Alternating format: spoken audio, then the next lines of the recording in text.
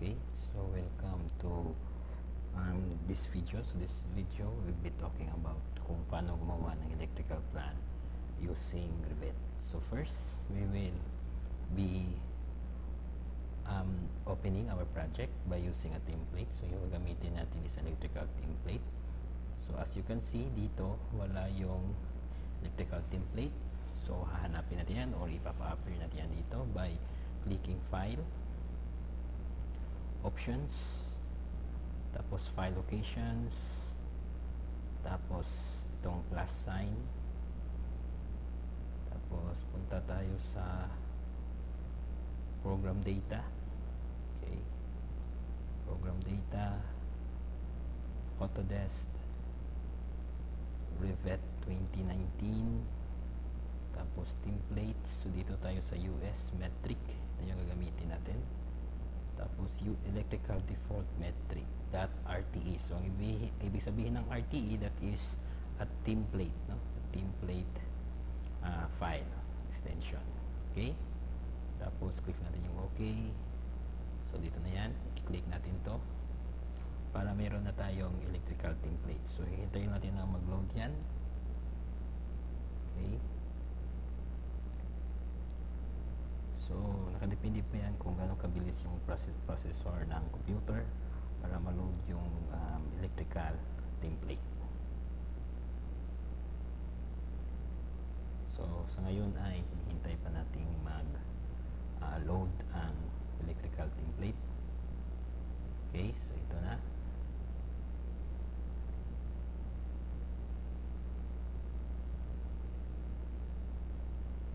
Okay. So, as you can see, yung electrical template is the same with the ARCI and the structural template except na dito sa project browser natin na nakalagay na is electrical then we have two um, two lower levels which is lighting and power. Tapos sa lighting meron tayong floor plans at ceiling plan. Tapos sa power meron tayong power 1 and power 2 2 dash, power and 1 dash power. Tapos same pa rin meron pa tayong elevations. Then we have here the legends the schedule of quantities and the sheet. Ito naman yung properties um, tab natin or the properties window kung saan dito natin malalaman yung mga properties at babaguhin yung mga properties ng anumang component at elements na ilalagay natin sa ating drawing na nandito. Tapos, dito sa taas, so ito yung uh, toolbar rib ribbon natin. So, pwede itong magbaguhin to by clicking this one. So, kung gusto nyo, yan lang, walang mga symbol, tapos yung mga symbol ay lalabas lang bigla-bigla. So, parang drop-down menu. Pwede rin, ito lang talaga, wala yung mismong ano, drop-down menu dito. So, mangyayari ganyan pag click natin to yung buo yung lalabas tapos pag inan-click natin so babalik siya sa puro words lang. Pwede din yung buo na talaga. Ito. Yan. So bawat click natin lalabas symbol at yung tools so this is used para if gusto natin yung mas malaking screen or mas malaking drawing area natin so we could just toggle this um, arrow here para makita natin okay So, balik natin sa dati. Yun, mas marami yung ano. Ito. Tapos, dito tayo muna sa System tab. Okay, sa System tab, dito natin makikita yung mga tools na gagamitin natin sa uh, mechanical, electrical, at plumbing sa map ng Revit. So, sa MEP ng Revit. So, sa ating concern na yun is just making uh, electrical plan using Revit. So, dito tayo sa electrical na toolbar tapos di ito ito lahat yung mga tools natin. So meron tayong lighting fixtures para sa mga lights devices. So that is for electrical fixtures like outlets communication internet. Uh, communication is for um, radio uh, satellite TV then data so for the internet fire alarm fire alarm system. Lighting is for the switches. Nurse calls is for the um, hospital or the uh, call out for the nurses, security is for the anti-burglar system, and telephone for the telephone um, telephone terminals and the telephone devices. Then we have the electrical equipment. So na-click ko yung electrical equipment. But nonetheless, So, meron tayo dito sa electrical equipment. So, naglo-load siya tuloy ng ano, component kasi na-click natin yung electrical equipment. So, escape lang natin to.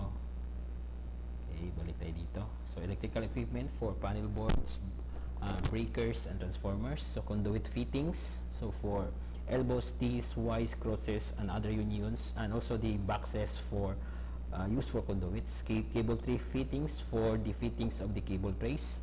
Um, uh, conduit trans which are parallel so that is the used for the tool parallel conduits then you have conduits then cable tray and also wire which can be arc spline or chamfered okay?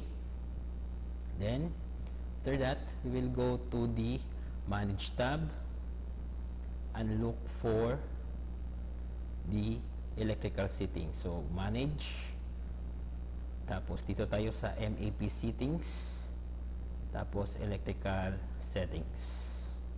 Okay, so sa part na to, dito din makikita yung settings ng ating electrical um, drawing. So the hidden lines is how we are going to project the lines, all the electrical lines of our drawing.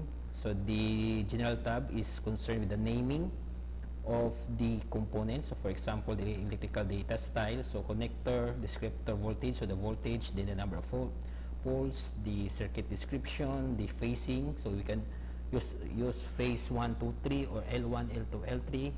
So we just edit this one.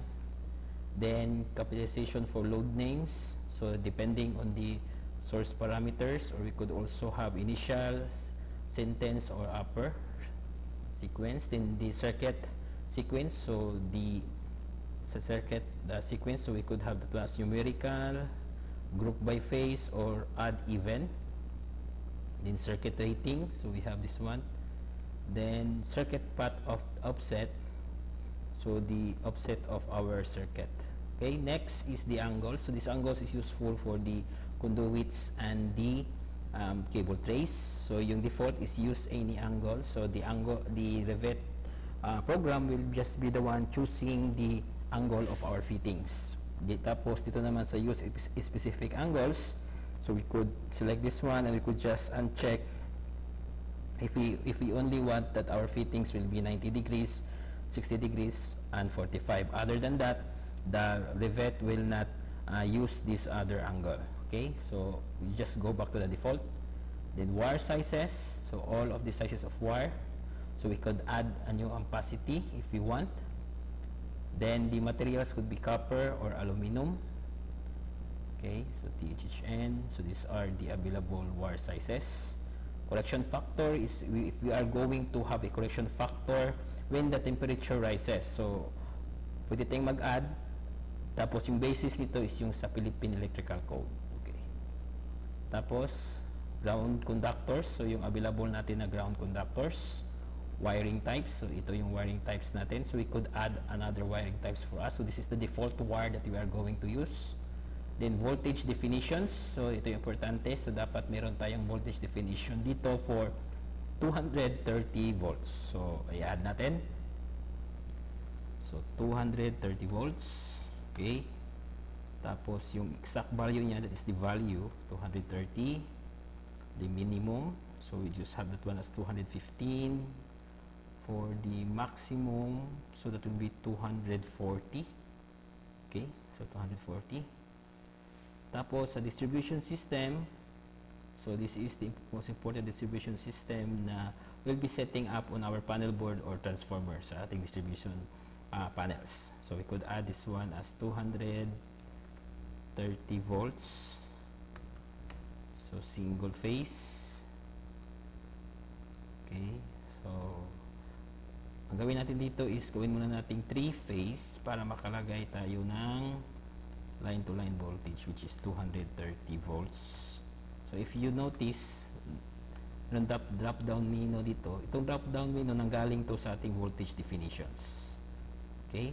Then, ibabalik natin siya sa single phase. Okay? Kasi yan yung default ng program eh. Hi- sa Philippines kasi, nire-recognize natin is the line to line voltage as 230 volts and sometimes we don't have the line to ground voltage. Of course, we will consider that one also because that is 120 volts. But in designing, so we are only uh, using the 230 volts line to line or 230 volts line to neutral, lalo na sa mga uh, part na sa mga sa mga provinces. Okay? Then we have the cable settings. So the rise strap, the symbology, the sizes available. So we could also add new size for that if we if wala yung size dito na gusto natin gamitin. Then also the sizes for the conduit. Okay? Then load calculations. So it is sum of true and reactive load. So that is VA or we could have that one as sum of apparent load. Automatic na ilalagay din niya yung ano, yung uh, true power o yung true load niya. Tapos panel schedules if how we are going to project our load schedule or panel schedule. Okay? So yan yung lahat para sa um, electrical settings. Now we will go to making our drawing. So the very first thing to do is to click insert, rivet. So link rivet. Tapos hanapin natin dito yung um, architectural plan na gagamitin natin o lalagyan natin ng electrical um, components. So dito tayo sa project 1. So that is the electrical, uh, the architectural plan that I have uh, made. So maybe ito yung key, dinilitan ko ng door. So dito na tayo sa taas kasi ito yung backup. Kasi may, ginawa ko kanina, nag-delete ako ng door eh. Okay. So ito na. I-load yan ng rivet. Okay. Okay, so we have now the architectural plan. So we could, maybe we could move this one. Okay, move natin yung ano lagyan natin sa center. It is very important to put that one in the center. So I believe that is now the center. Then we go to collaborate. Tapos copy monitor. Select link. Okay, tapos um, copy.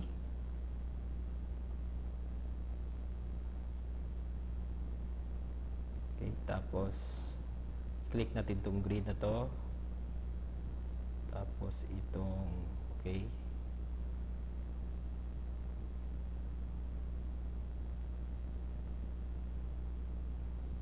Tapos itong grade na to.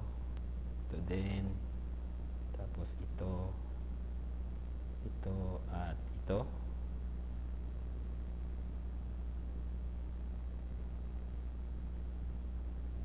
Okay, tapos click finish. Gagawin natin ngayon is i-move natin to lahat. Move natin dito. So, para makopya natin yung grid ng architectural plan natin. So that we will not be making another grid for this one. Okay? Okay na? So, i-check muna natin. Copy, monitor, link. Okay.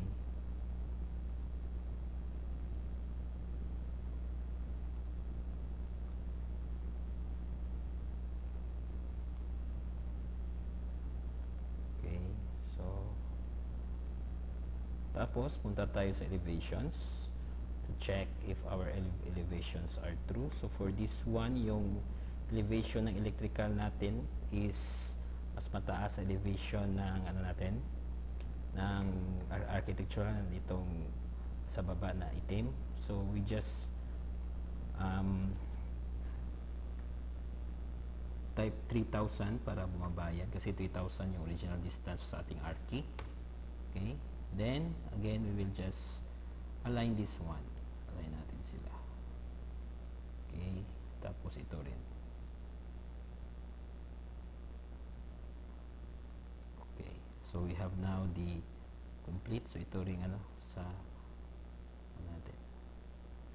Could also align this one. Okay. Okay, ito. So, move natin dito, banda. Tapos ito, tingin ko na. Okay, so we have now the grids for our electrical. So, if you are going to see the 3D, okay, so this will be the 3D of our um, electrical drawing. Okay, yan. is the 3D. So we have copied the uh, levels. Okay. So tingin ko meron pang hindi na level dito ito. So yung sa ano pala? Yung sa north at south elevation. Okay. Dali ng konti. Okay. Yun. Galing sa south. Okay, sa south. So, dito, mas malapit siya. So, i-book na natin. Okay. Okay, so ito rin na bago rin. So, i-move natin to.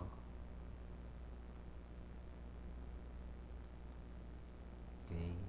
So, south. Okay. Okay, so now we will just go back to the 3D. Okay, so ayun. So we have now a perfect uh, 3D representation of our um, architectural draw- drawing linked to our electrical template. So first, we will begin with the power layout. So natin yung power layout. Okay, so sa power layout, dito tayo magkiklik sa for plans, power. Then we go to the system tab. Maglalagay muna tayo ng electrical panels, which is the electrical equipment. So ito yung properties tab. Kung makikita nyo, meron na tayong panel dito kasi this panel is uh, gamit ko sa previous uh, uh, design na ginawa ko. So yun yung magiging tsura niya. So if, we, if we are going to load another uh, panel, so ito lang, click lang natin to. Tapos punta tayo sa libraries. Okay. Ito sa Rivet.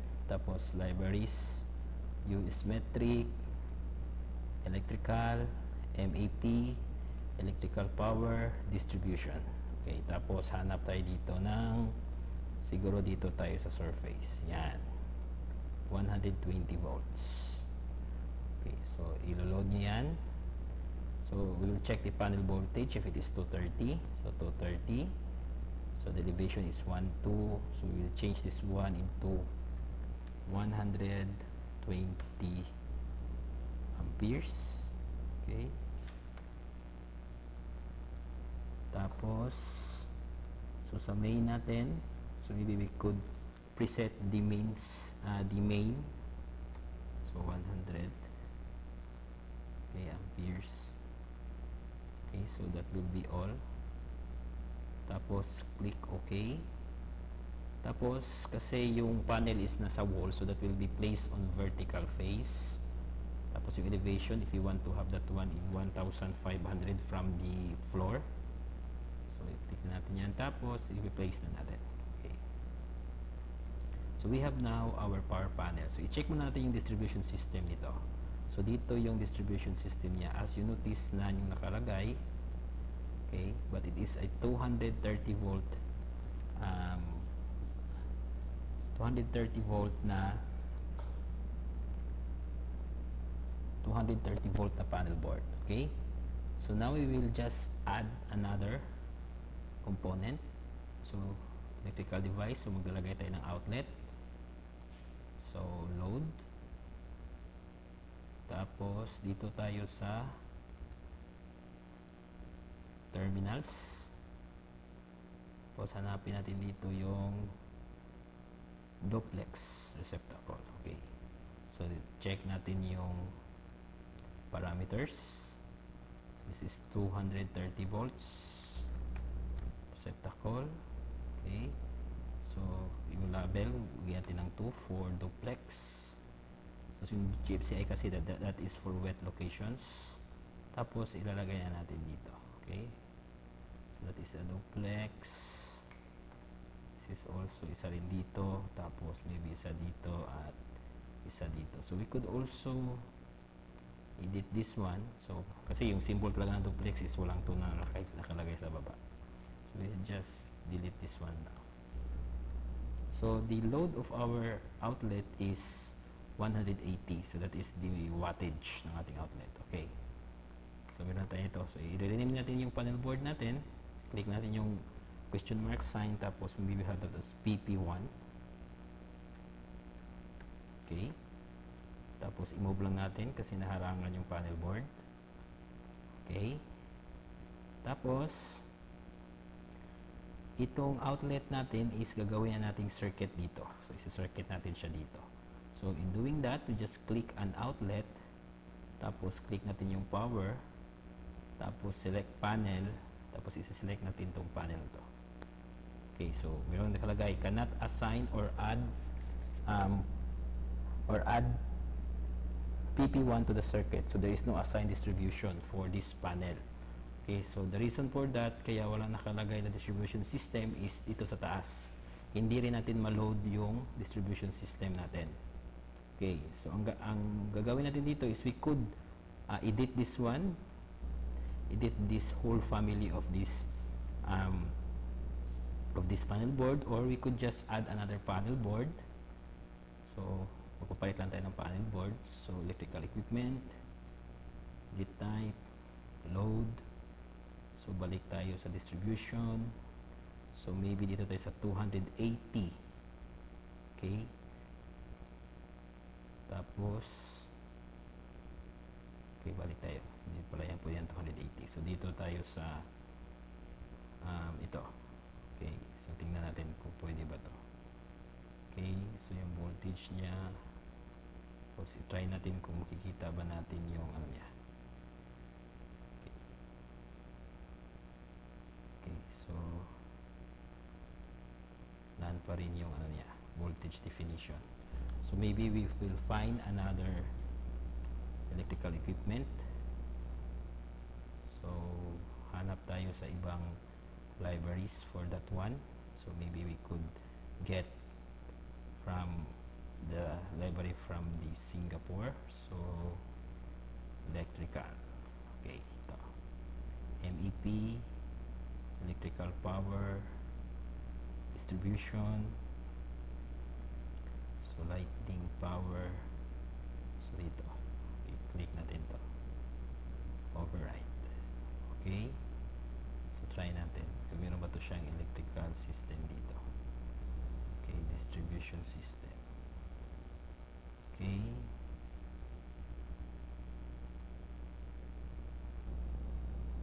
Okay, so nakaload tayo dito ng ano, yung resist na panel board. So, ang gagawin natin is we will now click this one. So, ito yung ilalagay natin. Kasi yung ibang distribution system nun is karoon ng konting problema siguro sa pag-copy ng family. Okay. Okay, so distribution system niya is none. But we could have that one as 120 slash 240 volts. Okay, so tapos doon sa uh, manage tapos electrical settings or the map settings tapos electrical yung distribution system na 120 slash 230 so gawin natin itong buong 230 volts single okay? Tapos ito gawin na natin ano siguro none at ito 230 okay?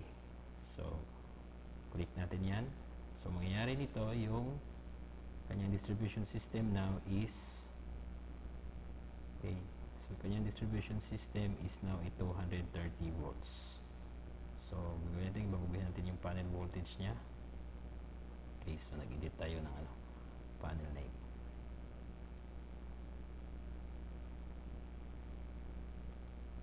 okay. So edit natin yung kanya system voltage niya so edit type edit type so 230 volts okay apply okay so meron na siyang distribution system. Siguro may mali tayo sa pangalan. Like muna natin yung ah, distribution system. Okay manage electrical settings. Tapos ito. So 230 lang okay. So yung distribution system niya is now 200 uh, to- 230 volts single.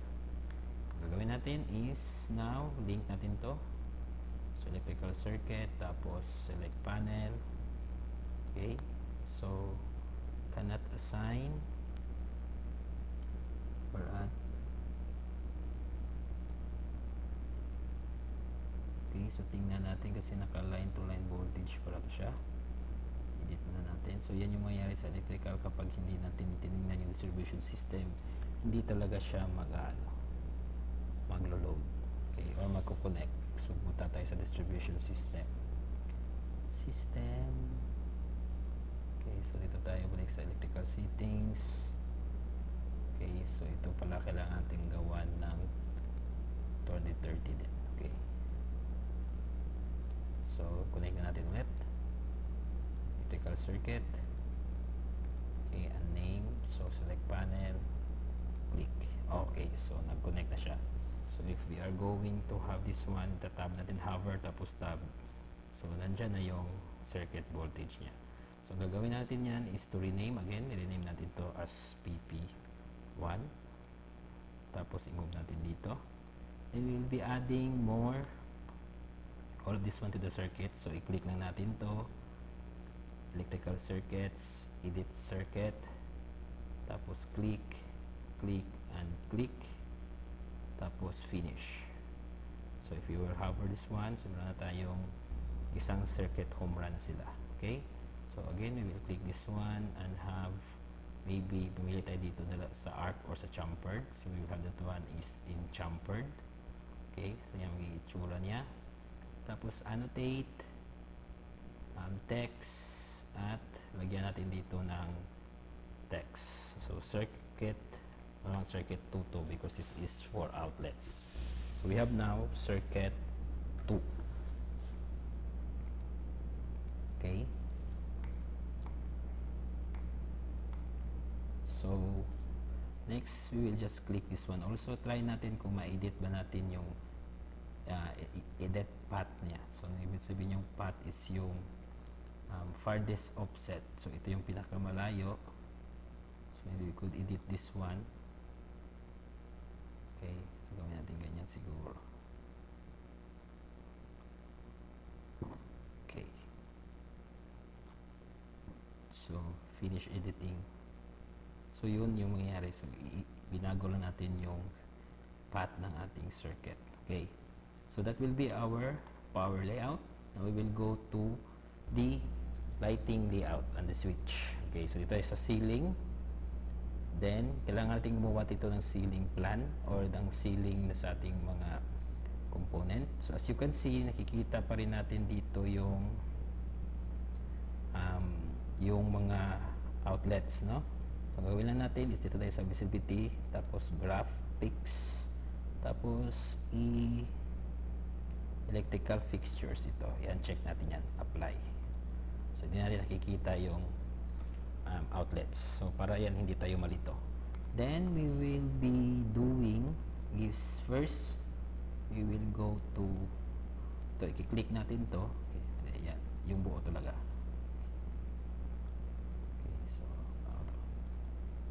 Okay, so i-click natin yan. Tapos edit type. Tapos check natin yung room bounding. Okay, yan. Tapos punta tayo sa um, tayo dito sa analyze. Hindi ba analyze? Tingin ko dito sa ano. Um, saan ba yung maglalagay ng ano? Uh, hanapin man natin yung maglalagay tayo ng room. Yan, space. Then, lagay natin dito. So, this one will be a space.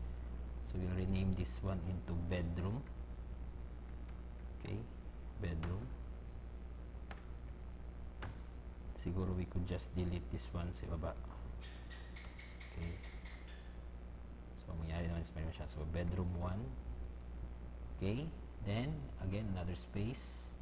So, doon pa rin to sa ano, analyze space tapos ito natin ilagay okay tapos ito living space okay living space so this will be living space 1 okay. So ignore lang natin yan dyan sa baba. Okay next we will add ceiling so dito is architecture. Ceiling. Automatic sketch. Ito pwede natin itong ma-auto sketch ng ceiling. Yan, click natin yan. And we will change, maybe we could change the elevation. So going to 25 Okay. So, click natin to, measure niya 2.5. Now, for this one, hindi natin ito ma-auto um, ceiling. So, gagawin natin is click natin yung ceiling, tapos sketch ceiling. Okay, so, iti-trace lang natin yung line natin. Okay.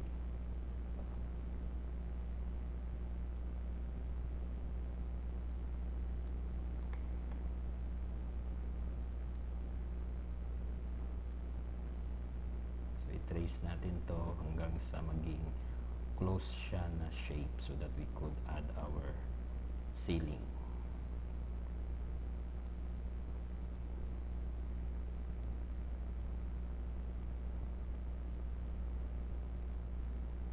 Okay, so parang hindi siya tumuloy. Okay.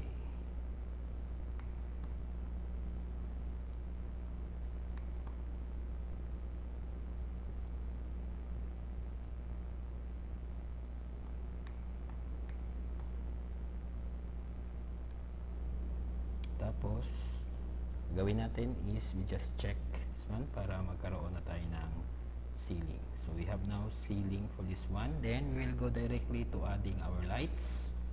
So, electrical. So, lighting fixture. Okay. So, edit type. Load. Hanap tayo kung anong yung mas maganda para sa atin. So, dito tayo. Back. Back. Back. So, yung symmetric tayo. Lighting. MEP internal. So pwede tayong maglagay ng siguro lagay tayo dito ng ano, troffer light. So parabolic. Or we could have lens.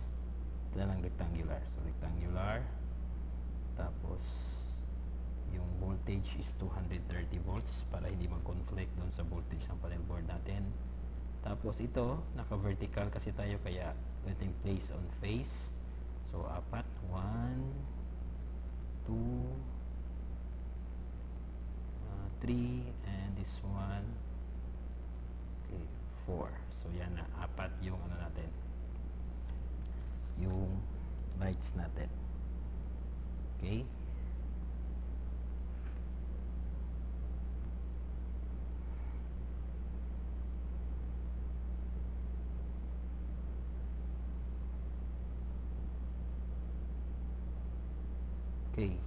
Now we will go to um, making this one is a whole circuit or maybe dagdagan natin ng lights para naman mas uh, mas maliwanag ng konti. Tingnan natin if, we, if the time na mag-render tayo nito mas maliwanag diba? Okay, so we will add another light also. Siguro wall light. Okay, so wall. Saan yung wall lights dito? Okay, so ito sigurong downlight. Iba to eh. Ano? We could have the downlight. So ito lang, emergency wall light. Hindi rin to medyo pangit ito. Tingnan. Siguro na lang. Ceiling linear box.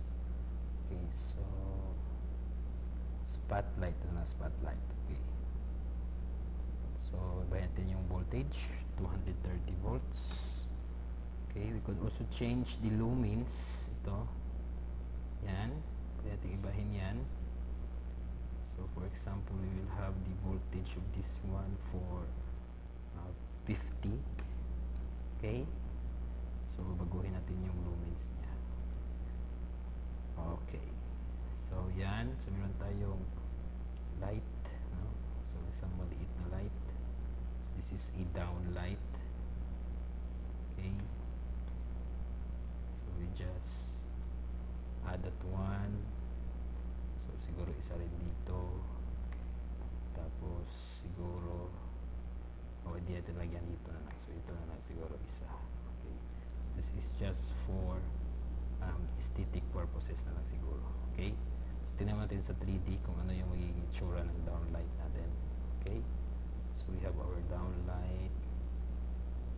Okay. Okay tapos, punta tayo sa ceiling plan. So, lagyan natin to sila ng circuit na ngayon. So, we'll just have this one into one circuit. So, same pa rin sa paggawa ng outlet. I-click natin to. Power. Tapos, uh, select panel. Okay. So, Click natin yan. Tapos, edit circuit para ma-add natin yung ibang components. Dito, ito, ito, yan. At saka ito. Tapos, finish editing. Hover, tab, click. Tapos, yan. So, meron na tayong um, lighting layout. So, kulang lang is the switch. So, we go to electrical, device, lighting, Okay, save natin pala yung projects. Yan, sabihan tayo na mag-save ng project. So, this is electrical plan. Okay. So, save natin yan. Oops. Oh, no. Na-cancel ko. Sensya na. Yan lang siguro yan. So, dito tayo, edit. Tapos, load. So, yung lighting switches. So, balik tayo sa electrical. MEP, electrical power, tapos terminals. So, dito din hanapin yung light switch. Yan. Okay. So, ito gawin nating 2. No? 2. Okay. So, ibig sabihin ng 2, tugang to siya. Tugang. Okay. 1, Wala natin to. Dito dapat to nakalagay. Yan. 1, dito,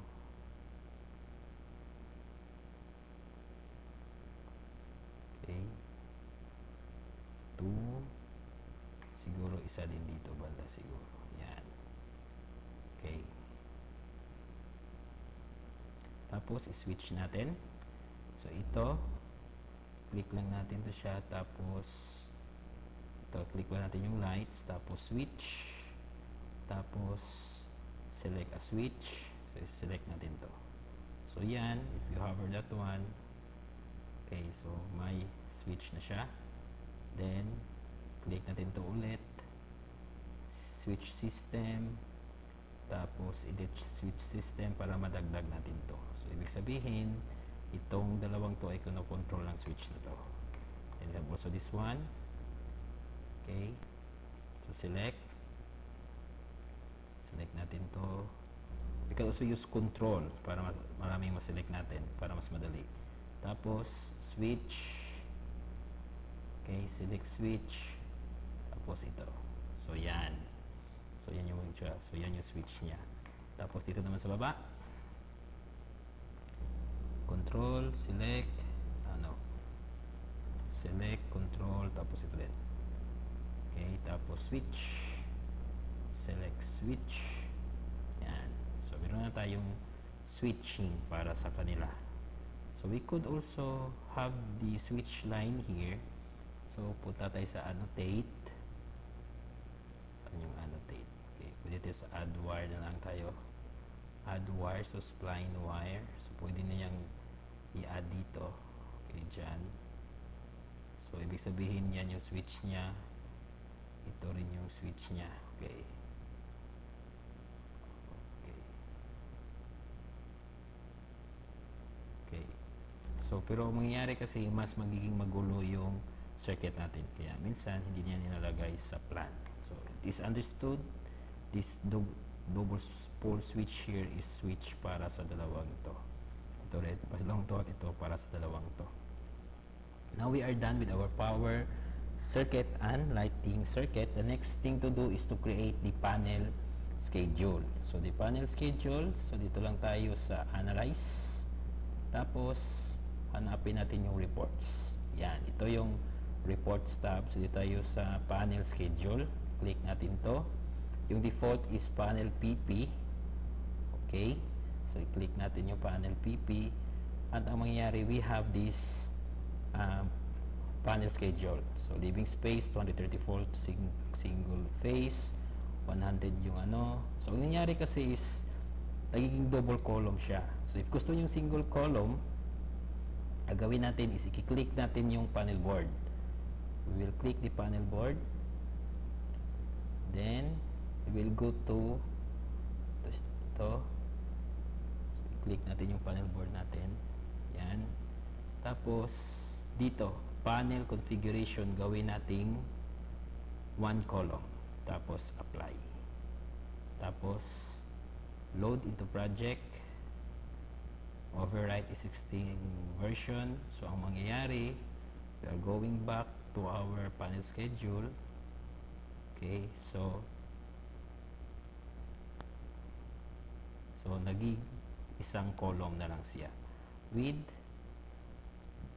par, with the matching um, loads, no?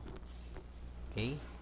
So, ito, unahin natin yung dwelling, lighting dwelling. So, dit, click natin yung space na to, tapos move up.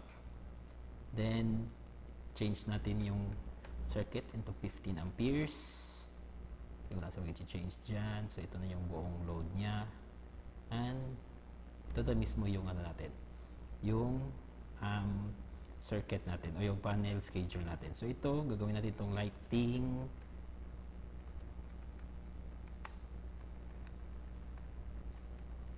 Okay, lighting.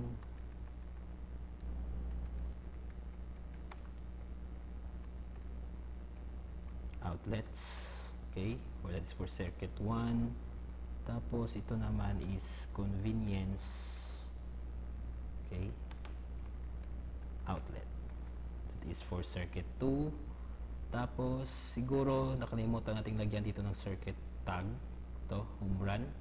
So punta ulit tayo sa annotate text tapos lagyan natin ng C1 so meaning ito yung circuit number 1 so we just move this one yan so we have now okay these circuits okay so meron tayong panel schedule meron na din tayong layouts the next thing to do for us is to create a sheet so dito tayo sa view tapos, sheet.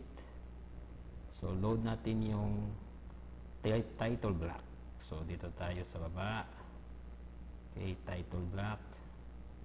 So, may ginawa akong title block na sinave ko siguro sa Singapore yan. So, dito ko na lang, yun na lang kukunin ko. Malamang. Okay, so title block open. Okay. Okay, so maybe let's see if naalala ba yun. Ano. So, hindi yata to baguhin natin yung title block natin. So, hanapin mo, hanapin ko muna yung niload ko o yung ginawa ko saan yung nilagay. Southeast Asia yata. Okay, ito pala.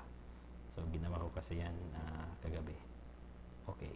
Okay, so this is my title block. So, you can customize also your own title block. I-click, i-double click nyo lang to, itong title block na to, or you go to edit type. So, pwede niyang baguhin dito or pwede din sa mismong ano sa mismong dito dito nyo baguhin okay so yung title. So yung title niya baguhin natin yung title. So to uh, owner. So siguro gawin natin TESDA. Okay. Dayon. Okay nawala yung na tapos project name.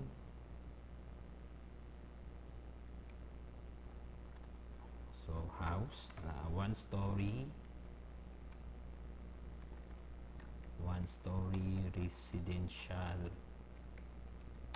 building okay could have that one yun tapos dito tayo sa uh, pangalan ng sheet so this will be the electrical layout. Okay.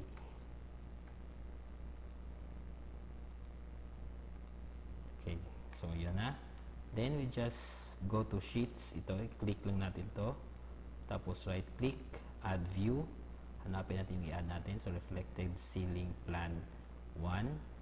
Okay. So, ilagay muna natin dito kasi i-fit natin yan. So, the scale is 1 is to 100. Tapos, punta tayo dito sa baba.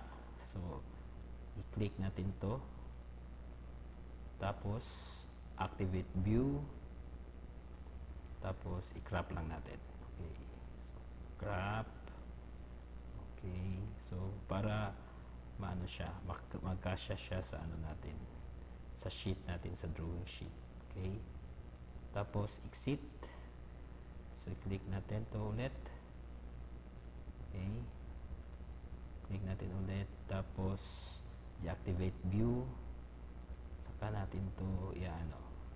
So, gusto natin mawala itong ano, to, mga lines. Okay, yung mga lines na yan. So, we just have to click this one. Okay. Click natin to sila. Tapos, ito lang.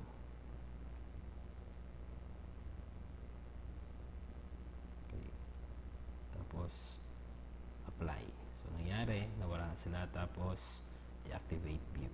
Okay. So, pwede natin itong i-move. Siguro, i-keep lang natin yung ano niya. Yung crop view. Okay, para tapos i-move natin dito. Okay. Tapos ito rin, pwede natin itong baguhin. So, i-double click natin or edit type.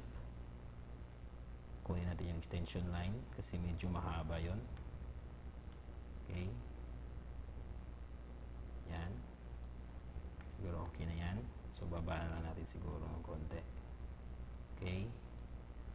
Tapos, click natin ulit. Baguhin natin yung name dito, which is lighting layout. Okay? So, may lighting layout. Kung gusto natin may line dyan, so we could go to annotate. Tapos, okay. Annotate. Tapos, data line. So, yan na natin to. Lagyan natin ng line papunta dito. Kasi yan yung kasaga, uh, kadalasan ginagawa natin sa mga titles natin.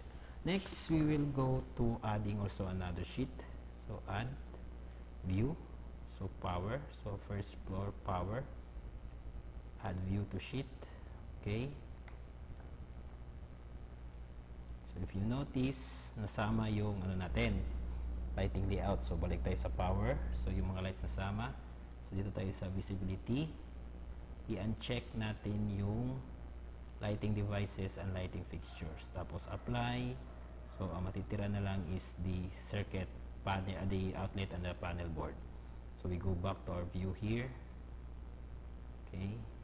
Tapos, same. I-check natin to dito sa baba. Ito lahat.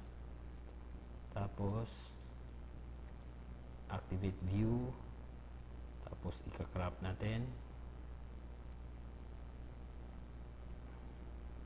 Okay, so, drag ko yung isang, no. Okay, crop. Okay, tapos, i-uncheck natin to crop region. Okay. Tapos, de- deactivate view. I-move natin to dito. Okay. So, i-align lang natin silang dalawa. Okay. Tapos, i-move din natin tong title niya. Okay. Title. Tapos, annotate agad. Uh, lagyan natin ng ano, line din. So, we don't know how long the line is. So, pwede ito ibahin dito. Dito din mabaguhin yung title. Okay. So, sana ba yan? Ito. So, this is the power layout. So, if you notice, if babaguhin natin yung power layout, itong name dito sa view name, you notice dyan, okay, activate view, okay, magbabago din siya dito sa inyong project browser. Okay. Then the last one is we add another sheet. So, we add view um, sheets ito, sheet tapos same na ano title block then we will just add a view for our panel schedule. So, saan na yun? Yan. Okay. So, we have here our i-position muna natin para hindi maglagpas. Okay. Panel schedule.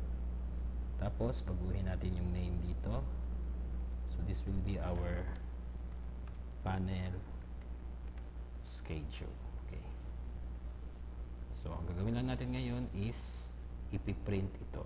Okay. So, printing, so we just have control P or you go to file file tapos print okay so print natin as Microsoft to PDF. Select views. Ito, select views. Tapos, yung dalawang sheet lang ipiprint natin. Okay. Uh, just um, then, combine multiple sheets. Okay. Then, we will have this one as electrical plan. One. So, save.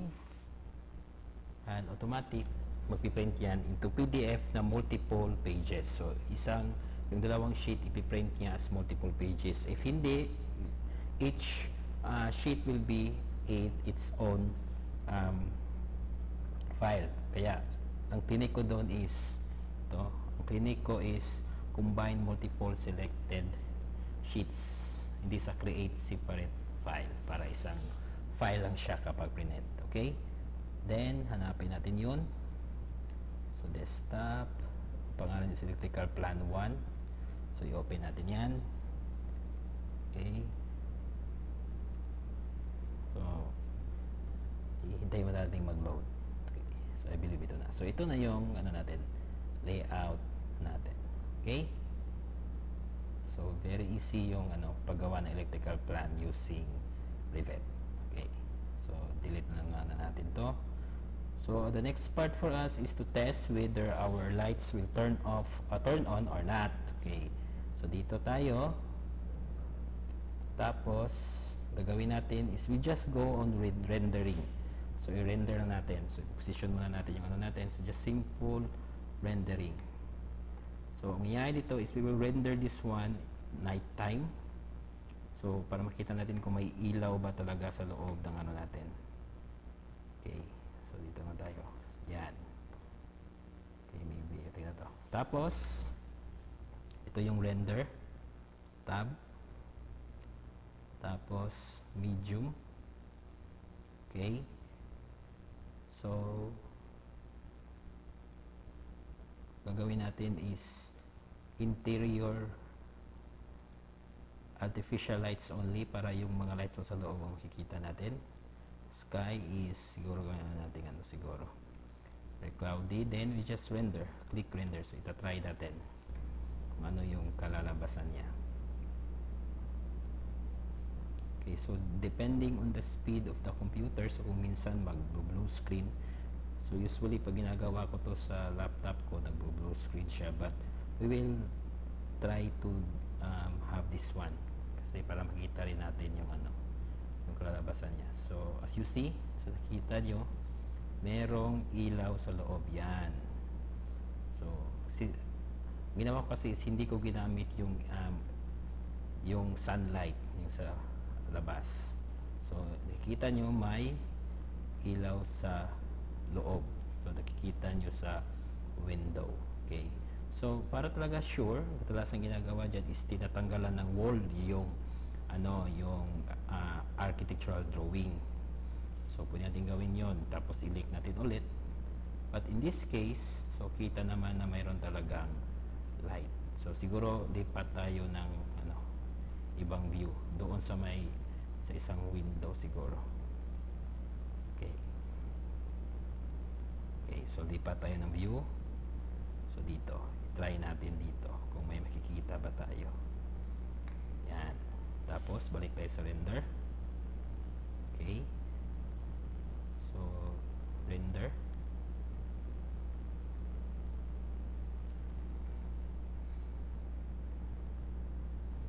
so yan hintayin na naman natin yung ano mag-render siya so if medyo madaming ilaw so mas marami-rami yung ano natin, yung ano tawag doon, yung mas maliwanag. So, maybe after this one, so makikita nyo may ilaw talaga, nangyaywanag yung sa loob. We will try to put a wall light outside. So, wall light sa labas ng ano. So, yan. So, maybe we'll try to put a wall light outside dito banda. So, it will not um, take longer time. So, tignan natin yung lighting layout. Tapos, dito tayo sa system, electrical, lighting fixtures. So, dito tayo sa load. Okay, so napunta naman tayo sa title block but we will just go to lighting. Saan yung lighting dito? Okay, so lighting. MEP in ano, sa external kasi sa labas na maglalagay. External. So, try natin yung wall pack light. Yan. Tingnan natin kung we'll try to know if talagang mag-iilaw yung um, rivet. So, we will just also have this as 120 volts. So, malakas-lakas siguro to. So, baguhin natin to into 120 watts. Okay. Okay. So, light loss factor. Okay na yan. Tapos, okay. So, dito. Yan, lalagay natin siguro dito, banda. So, yung height niya dito banda. Yan. So, yung height is 270. Maybe, ibaba natin ng konti para makikita talaga natin siya. Okay. So, ito, click natin. Again, ilagay siguro natin sa 2,000 from the base level. Okay. Tapos, i-circuit natin to. So, just click. Ito, i-click natin yung isa. I-add natin siya dito na circuit. So,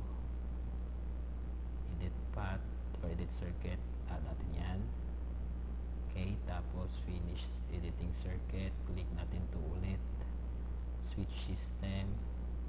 Select switch. So, ito siguro yung switch niya. Okay. So, tingnan. Okay, so yan na ba yung switch niya. So, we just have to edit switch system. Idagdag natin to. Okay. So, we'll now go back to rendering. So, may malaking light tayo dyan. So, tingnan natin kung anong ilaw ang maibibigay ng light na to. Okay? So, we go now to render. Okay? So, we, still, we are still using interior artificial lights. Titingnan natin kung lalabas ba yung light niya. Okay? So, as you can see, may ilaw. So, yung ilaw is nakababa. Yan, yung ilaw natin. Yun. Yun, talagang may ilaw siya. Okay. Yun. Ibig sabihin yan is tama yung switching system natin. Yun, may ilaw. So, maybe we just uh, pwede, pwede nyo tong laruin dito. So, interior artificial light. Pwede rin exterior artificial light only. Render natin ulit. So, yun, pwede nyo gawin yun. I-laro nyo dito sa ano, rivet. So, kung gusto nyo, lagyan nyo ng maraming lights. Tapos, ang gamitin nyo lang is the artificial light only. Okay. So, natin kung ano yung pagkakaiba. Yun. Okay. Yan. So, I think pagkapareho lang kasi we are checking everything. Okay, so yun. So, talagang may ilaw. So, if you are going just to have the artificial light natin dito lang sa ano, sa park light lang. Okay, so i-render natin yan. Yung mag-iilaw dyan is the only this one, the park light. We will try that one.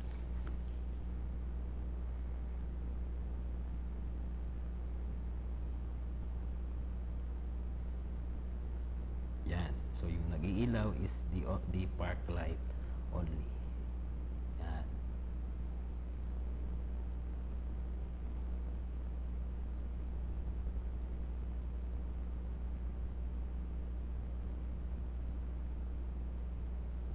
Yun.